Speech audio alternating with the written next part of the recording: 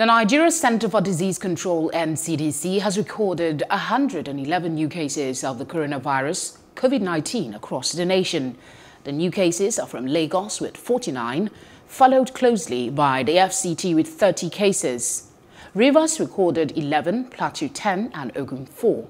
Others are Kaduna with 3, Oyo 3, Osun 1.